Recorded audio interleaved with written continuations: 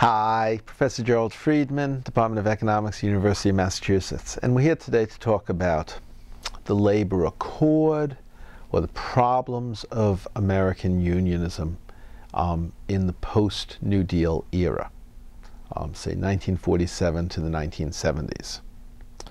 Um, basically, what came out of the New Deal was a partial victory for the New Dealers. Well, what came out of the 1930s and 40s was partial victory.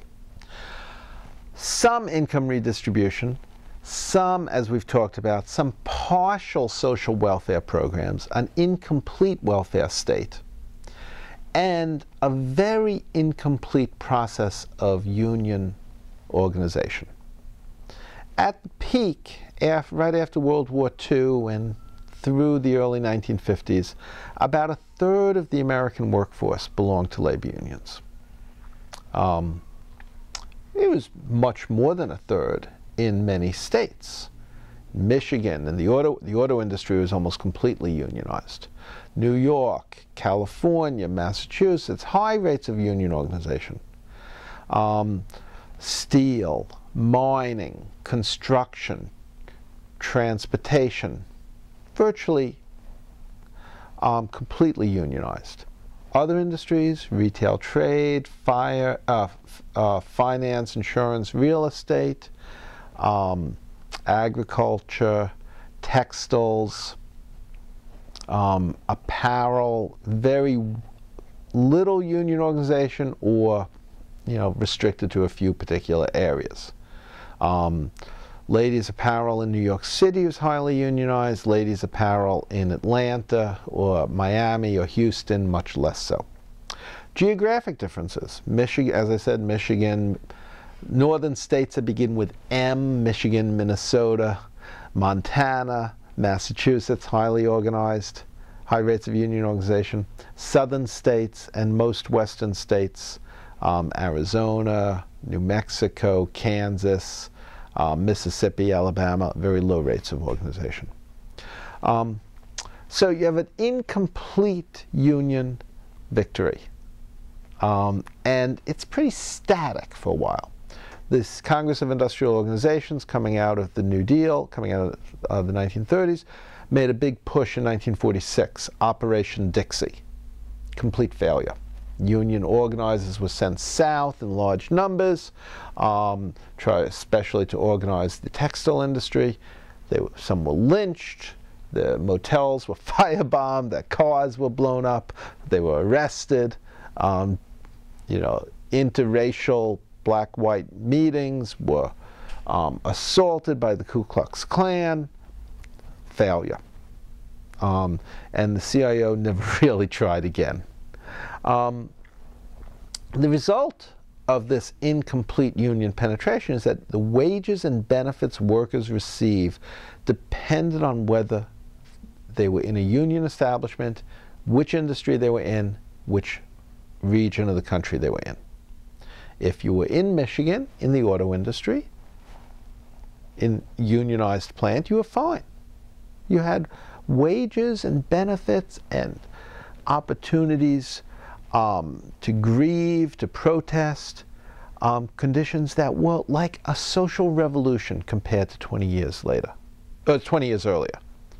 Um, for America's working class, there really was a golden age from the 19, uh, 1940s through the 1970s where conditions were better than ever before or since for those workers for shipyard workers in Alabama, for textile workers in North Carolina, for apparel workers in Houston, for agricultural workers, nothing. You know, they were stuck in the dark ages. Um, it, uh, the establishment unionism that came out of the New Deal era did not apply to them. Now, we could talk about that's unfortunate, it's, it's unfair, it's bad, these people should have the benefits of union organization, etc.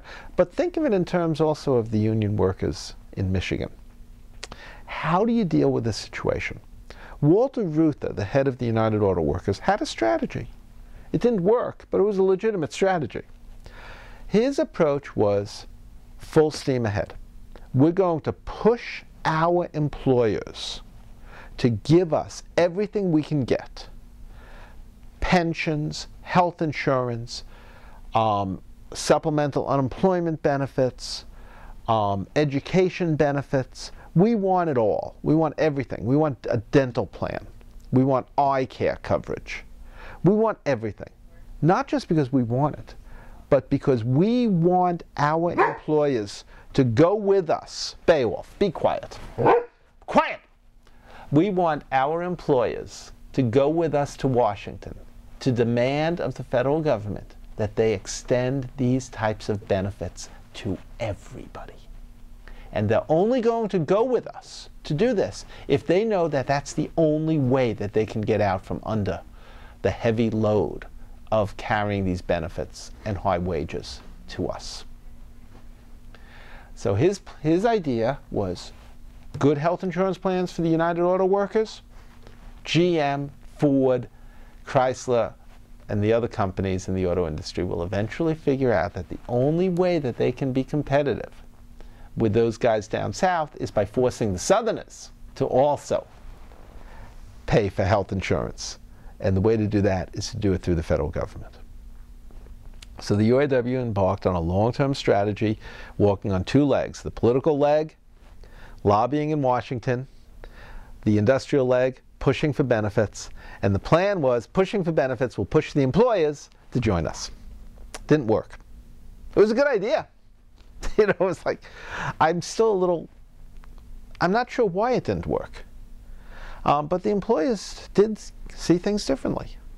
And their approach was instead of trying to force their fellow employers to join in paying for high benefits so that, you know, in Michigan they could be competitive, they would join their fellow employers, non-union employers, um, and get out from under paying those benefits by relocating. Uh, Jefferson Cowie's great book, Capital Moves, addresses this for RCA, which moved its production from Camden, highly unionized Camden, to weakly unionized Bloomington, and then to Memphis, and then all the way over to um, across the border in Mexico uh, to avoid unions and to get out from paying these benefits. RCA and General Electric didn't go to Washington to force other non to force non-union companies to pay the types of benefits and wages that they were paying. Instead, by the 1970s, they had joined a phalanx, an alliance of industrialists and capitalists to drive down benefits and to drive out unions throughout the whole American economy. And that's what we're going to talk about next time. Thank you, and have a good day. Bye bye.